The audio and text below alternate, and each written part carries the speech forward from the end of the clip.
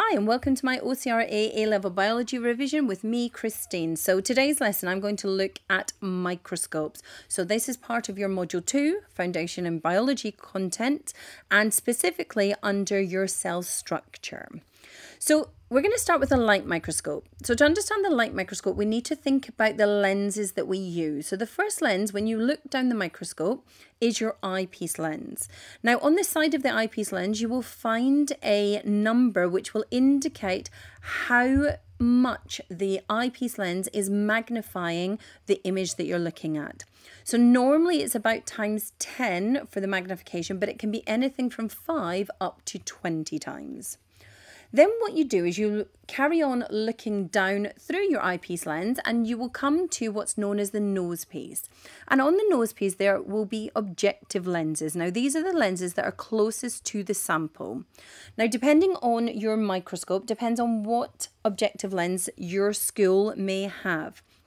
Now if you have 10 times, that is classed as your low power magnification. 40 times is the high power magnification and the 100 times would be the oil immersion. Now, if you are trying to magnify by a hundred times, you therefore will need to be very close to your slide with the cover slip. And therefore, to prevent damage, you need to put oil onto the cover slip before you place it close to the oil immersion objective lens.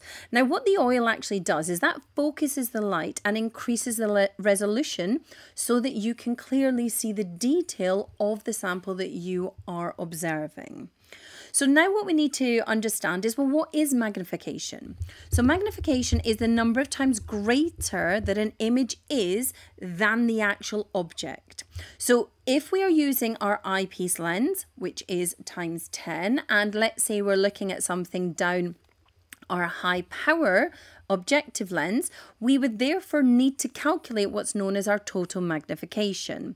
So in this case, if my eyepiece is times 10 and my objective lens is times 40, my total magnification is 400 times the actual object.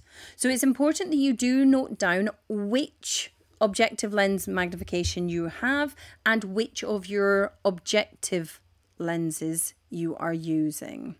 Now, the other part of the microscope that's important to note is your coarse focus and fine focus. Now, these are the dials on the side of the microscope which move the objective lenses closer or further away from your specimen by moving the stage.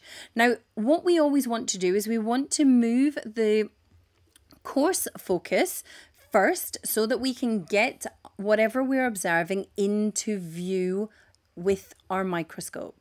The next thing we would do is we would then use the fine focus to move the objective lens in smaller steps and that will bring whatever we're looking at into more clearer focus. Now it's important to know if you are using the oil immersion objective lens then you would not be using the coarse focus wheel you would be using the fine focus and only the fine focus. So the resolution then, when we talk about resolution, we're talking about the ability of a microscope to show two objects as being separate. So if I take my chloroplast diagram and I increase the resolution by 10, what I can see here is I've increased the detail. So the detail of the grana, of the lamellae, of the stroma is much clearer when I increase the resolution. So you need to know about the three different types of microscopes. Because you are sitting your exam in 2025, that therefore means that you do not need to know about the fourth one, which was on the old spec. So do make sure you're looking at the correct specification for your exam. Now, if we start with a light microscope, the light microscope is going to use light as its source. So therefore, we know that visible light has got a very specific wavelength and we are utilizing that wavelength to help us to observe the different parts of the specimen that we want to see. Now, the other two microscopes, the scanning electron microscope and the transmission electron microscope, these both use electrons as their source. And because they're using electrons, they therefore have a smaller wavelength. So that's an important distinguishing feature between an electron microscope and the light microscope. Now, the light microscope, because it uses the visible light as its source, it has the lowest resolution. We would then look at the electron microscopes and compare the resolution between those to the light microscope. Now, because we've already stated they have a smaller wavelength in the electrons that they're using as their source, their resolution is greater than the light microscope. So if you're ever comparing the electron microscope to the light microscope, they both have a higher resolution than the light microscope. Now, if we actually look at the resolution, if we're looking at the SEM, it's between 5 to 15 nanometers. And if we're looking at the TEM, it's between 0.05 to 2 nanometers. Now, because you are sitting the new adapted specification, you don't need to know those numbers, but you do need to be able to compare the difference between them. So you need to note that the transmission electron microscope has the highest resolution, compared to the scanning and the light microscope. Now, one of the advantages of using a light microscope is that we can actually view whole living cells and tissues. So because we're only using light as our source, it means that we can observe living cells, how they interact with their environment, if they are small enough, and we're looking at them through the microscope.